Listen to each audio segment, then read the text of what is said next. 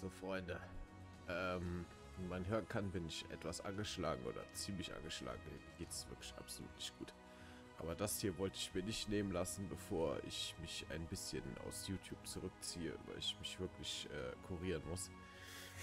Ähm, Lance Island haben wir letztes Jahr am 26.11.21 aufgenommen, haben da ein komplettes Let's Play draus gemacht und ich muss ehrlich sagen, für meinen Teil geht die Mucke jetzt hier weg. Ich erstelle mal kurz ein Game, obwohl Musik aus. Nein, sie kommt wieder. äh, das hier können wir mal deleten.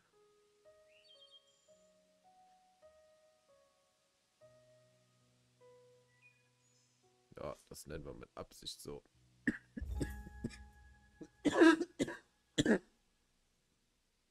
Ja, ich erstelle erstmal kurz einen Charakter und dann äh, komme ich mal kurz dazu, was ich sagen möchte.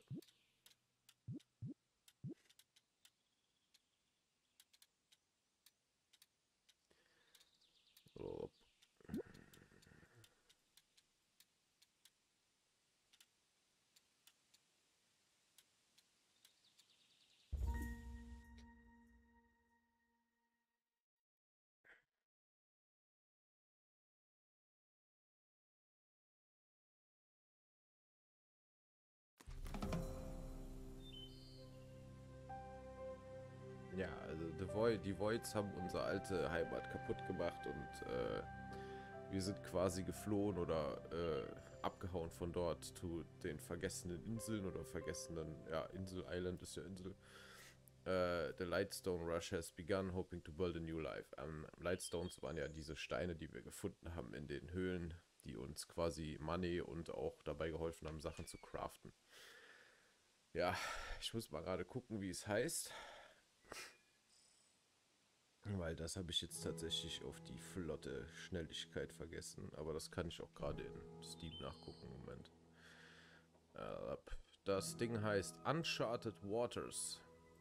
Also, das Spiel kam letztes Jahr 26.11. raus im Early Access.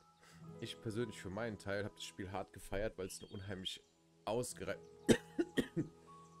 eine unheimlich ausgereifte ähm, Building-Phase hat. Also du kannst unheimlich viel craften und das auf eine ultra schöne, vielseitige Art und Weise. Es hat mir immer persönlich sehr gut gefallen, weil ich das Spiel sehr gut finde. Ich finde es grafisch wunderschön. Ähm, es ist für mich, ich will nicht immer sagen, es ist das bessere Stardew Valley, aber es, es liegt für mich mit auf einer Höhe. Also Stardew Valley und Lance Island sind für mich, wenn man solche Spiele mag, so mit die coolsten Story-Building-Games, die man so machen kann. Ähm, ja, wir spielen hier diesen Esoteriker.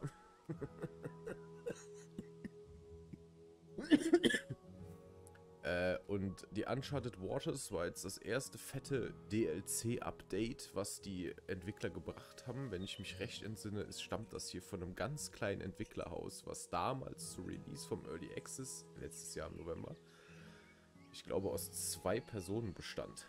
Und wenn man mal darauf sich bezieht, was die damals für ein umfangreiches Spiel schon gebracht hatten, mit einer Storyline, mit Minen, in die man gehen konnte, mit gewissen Dingen, die ausgekleidet werden konnten, muss ich sagen, war das schon ein echt rundes, gutes Spiel. Keinerlei Abstürze, keinerlei FPS-Drops, nichts. Es war einfach flüssig gut spielbar. Hier ist es jetzt so, dass wir viele neue Sachen bekommen haben. Zum allerersten Mal haben wir endlich eine Map. Eine fucking Map. Alter, was hab ich das damals gehasst, dass man keine scheiß Map hatte. So, jetzt haben wir eine scheiß Map. Finde ich super.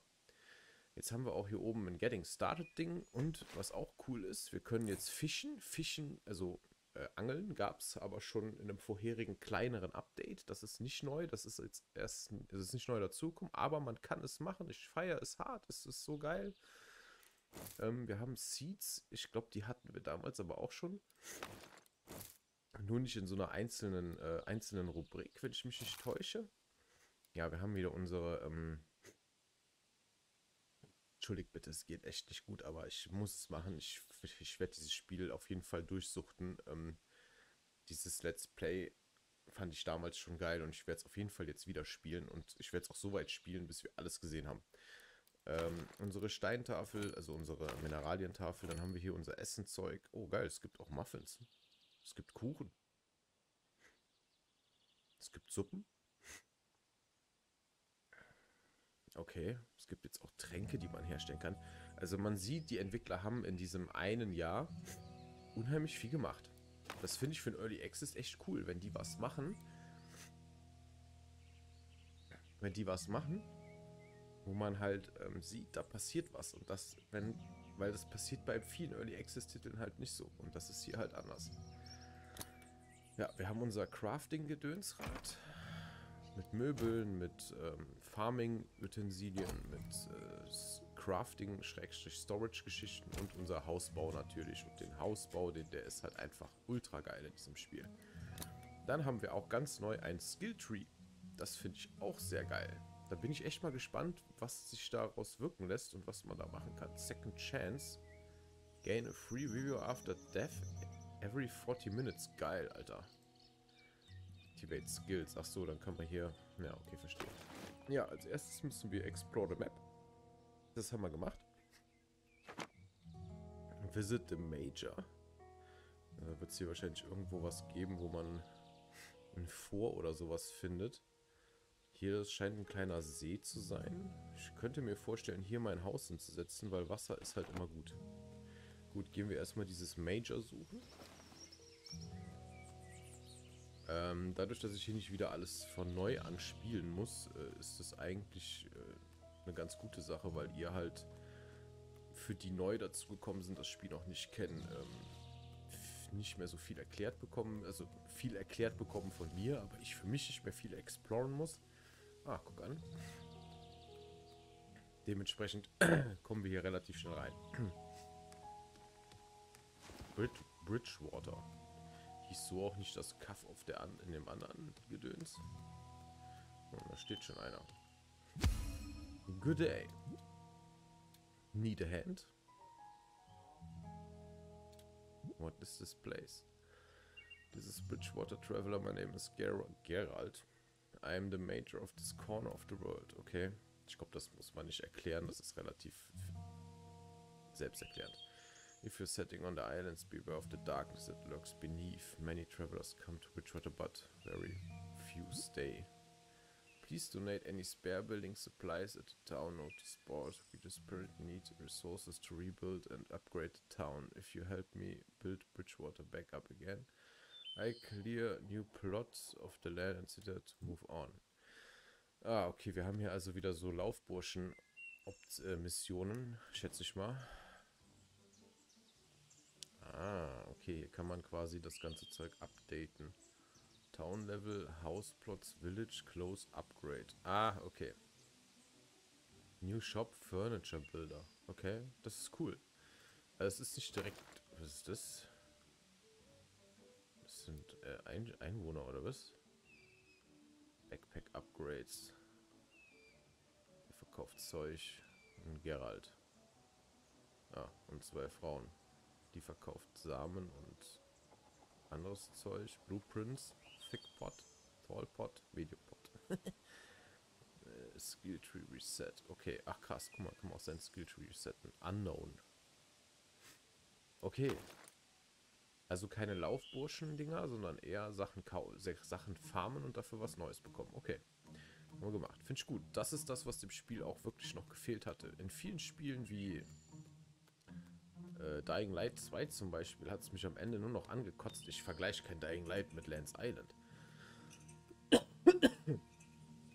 Aber Dying Light 2 am Ende war es halt wirklich nur noch Lauf von A nach B, kill ein paar Zombies oder find irgendwas, bring mir das und du bist ein geiler Typ.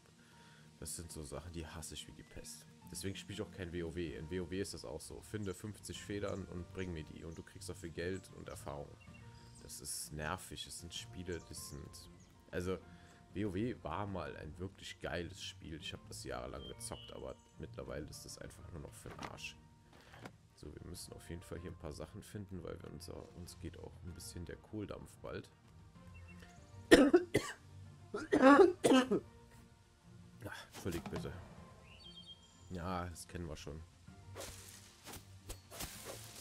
Also für die, die es nicht wissen, wenn wir zuschlagen, sieht man immer so einen, ähm, so einen Kreis, der da aufploppt. Und in dem Moment, wenn, der, wenn der Kreis kommt und man drückt dann wieder die Maus, macht der einen Crit, Crit-Schaden. Wenn man das immer wieder macht, fällt man halt so schneller Bäume und alles andere. Ich glaube, dass das hier aber eine ganz gute Ecke wäre, um ein Haus zu bauen. Oh, hier ist auch ein Fischschwarm drin. Das ist natürlich sehr nice. Gut, wir farben uns erstmal ein bisschen kaputt. Besten irgendwie mal ein paar Beeren oder sowas finden.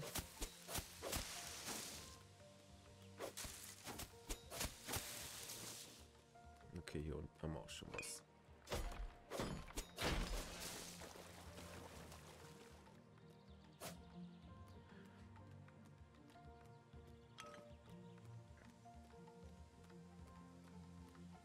Boah, hier findest du aber einen Haufen Glas, ey. Sehr geil.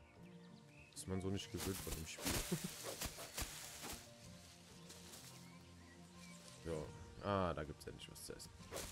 Ne, das sind Rosen. Aber auch geil. Rosen sind teuer, wenn man die verkauft. War zumindest vorher immer so. So,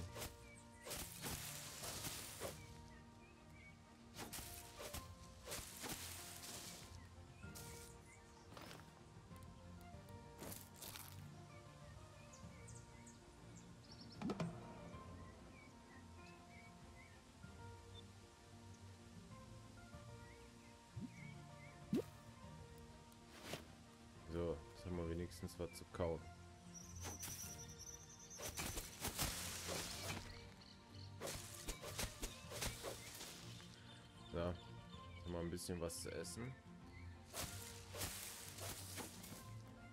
Dann gehen wir jetzt mal gucken, dass wir eine Hütte bauen. Ich denke, das wird heute in der Folge das erste sein, was ich mache. Ein Haus bauen. Das ist ein kleines Haus, kein nix, ein bescheidenes kleines Heim.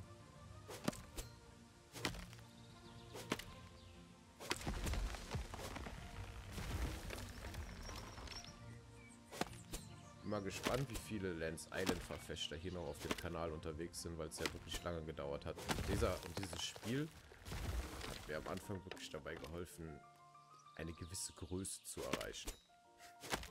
Und ich habe euch versprochen, wenn was Neues kommt, machen wir weiter. Und das ist jetzt der Fall. Und das Haus, was ich damals hatte, war einfach geil. Also das würde ich mir tatsächlich auch selber so bauen, wenn ich irgendwo in der Wildnis hänge. Wenn das dann möglich wäre. Aber das Problem ist, man hatte da irgendwie Elektriz Elektrizität. und ähm, das ist natürlich schwer umsetzbar und so. Ne? Also das sind dann eben so Sachen, wo man weiß, das ist vielleicht nicht machbar, wenn du irgendwo in Kanada im Busch hängst. Oder Australien im Busch und in Kanada in den Bergen. So. Jetzt wird es auch bald dunkel.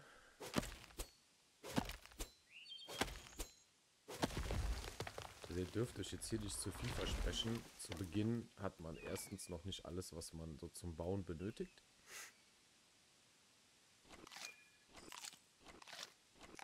Und zum Zweiten ist es halt noch ein bisschen bescheiden. Ja, aber ihr seht ja allein, schon, schon, schon, allein an solchen Sachen hier schon, wie umfangreich das werden kann. Und man kann hier sehr kreativ bauen. Also man kann sehr schöne Häuser bauen.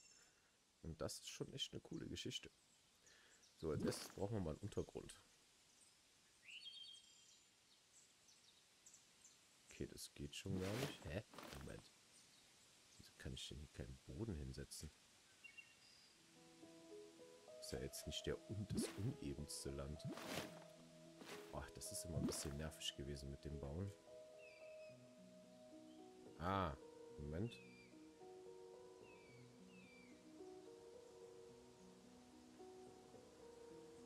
Ach nee, Moment, wir müssen hier hin, ne? Hä? Jetzt muss ich mal kurz gucken, wie das nochmal ging.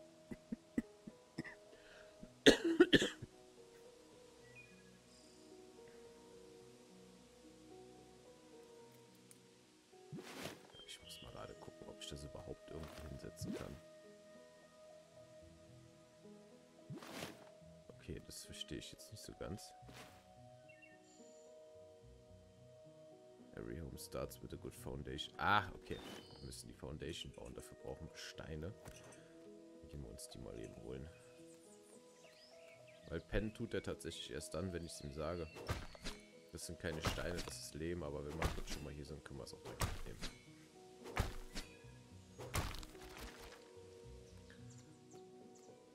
Oh, Steine, Steine, Steine.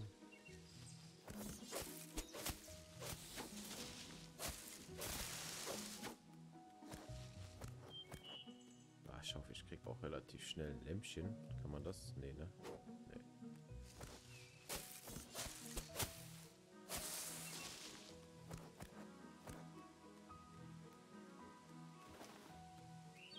Da sind Steine.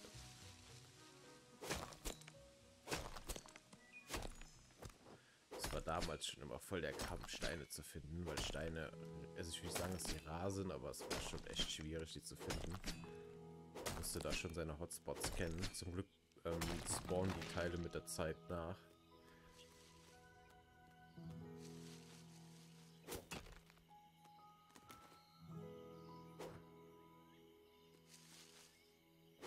Na, jetzt sieht man hier blöder. Hier sieht gar nichts mehr. okay, wartet, ich baue mir mal schnell ein Bett, gehe ich mal schlafen, dass wir mal morgen bekommen. Mal schnell ein hin. Äh, das scheiß Bett kann ich auch nicht bauen, oder was?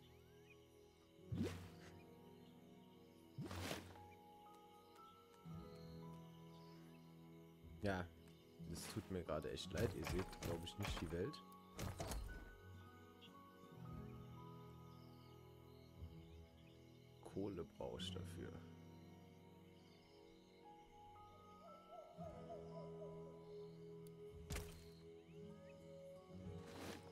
Jetzt kann ich mir aber zumindest schon mal hier so... Ach Mann! Ah, mit diesem Baumenü muss ich erstmal wieder klarkommen.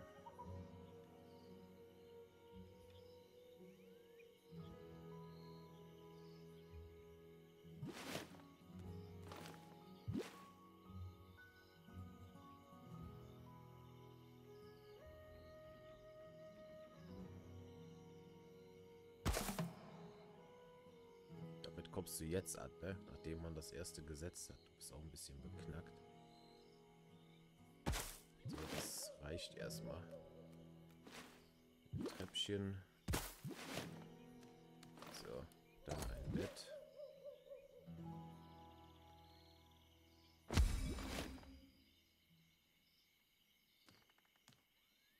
Bed must be enclosed. Echt? Muss ich da jetzt erst eine Wand drum setzen? Enclosed heißt das? Ist das so?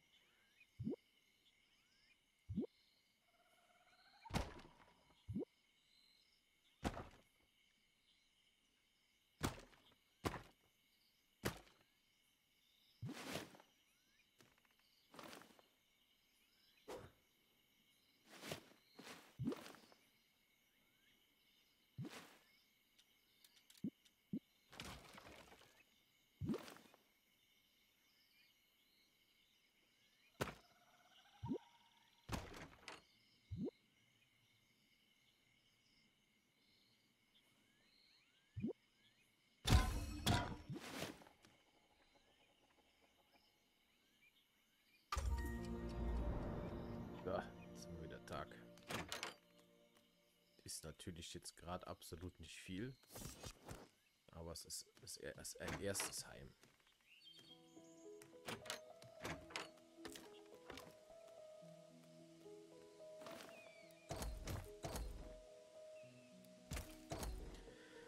Was wir aber gleich mal ausbauen werden, weil ich das ist mir zu klein. Okay, wir brauchen erstmal wieder Zeug.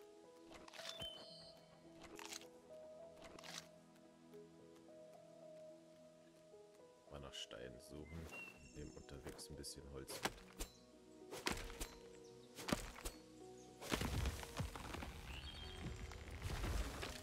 Ich hoffe wirklich, wenn ihr euch das hier anguckt, dass ihr auf entspannte Spiele steht, weil das Spiel ist bis zu einem bestimmten Zeitpunkt schon sehr entspannt. Wir können das hier übrigens auch mal gerade versuchen auf Ultra zu stellen, um mal zu gucken.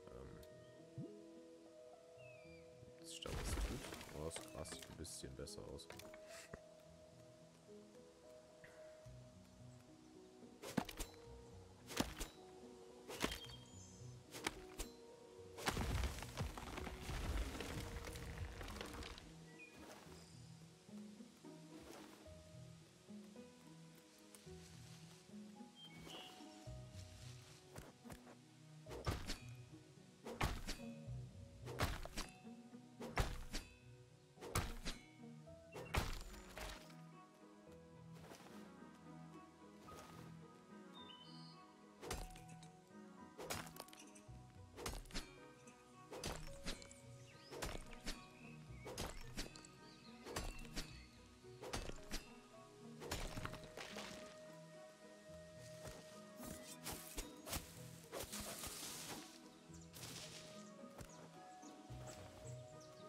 Mich auch hier ein bisschen an Seven vs. Wild. Wo sie irgendwie eine Woche lang nur mit ähm, einer Handvoll äh, Blaubeeren auskommen.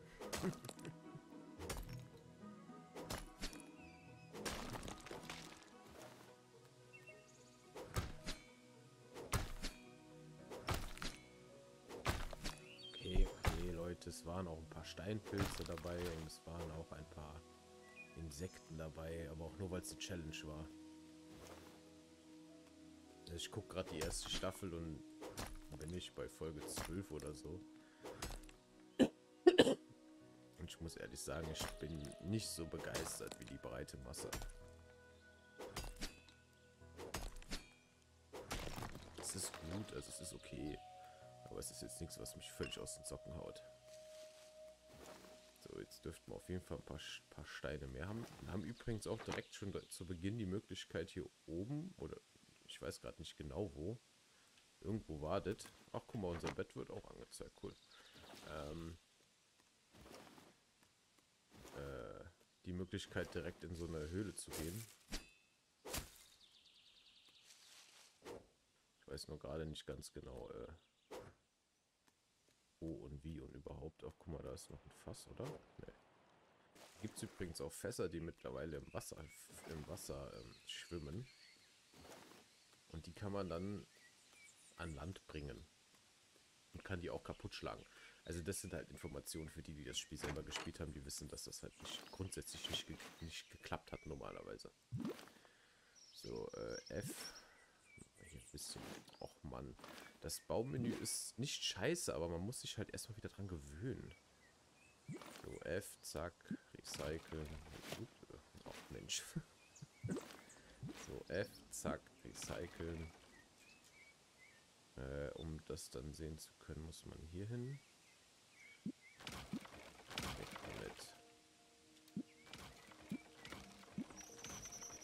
So, das heißt jetzt eigentlich schon, dass wir voll sind.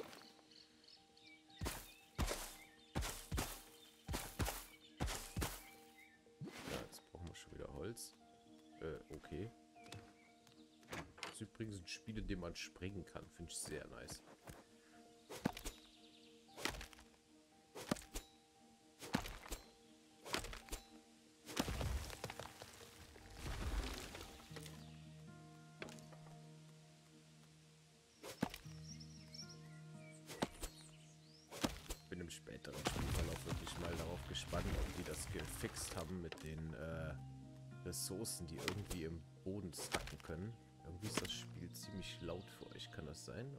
Sehr leise. Mal gucken, kriegen wir das irgendwie besser hin? So, mal gucken. Ähm, ich mach mal gerade kleinen Ticken leiser.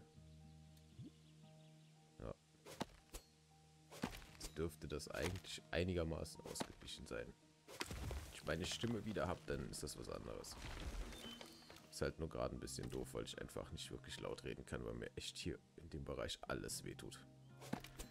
Heute Morgen auch ein bisschen mit Fieber wach geworden, also das ist zum Kotzen.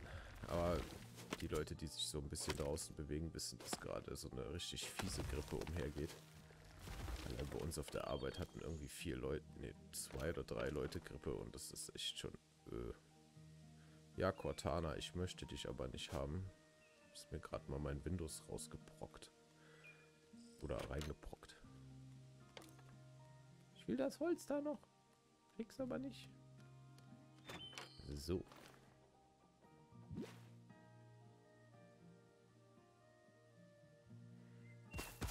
Ja, jetzt haben wir zumindest mal das Grundgerüst. Die Fläche finde ich für den Anfang okay. So, ähm...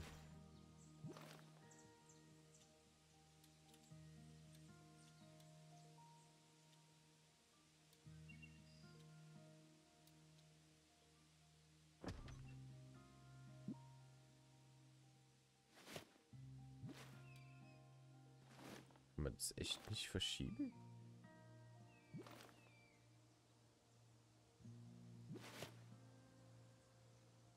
Das gibt's ja nicht. Das finde ich blöd.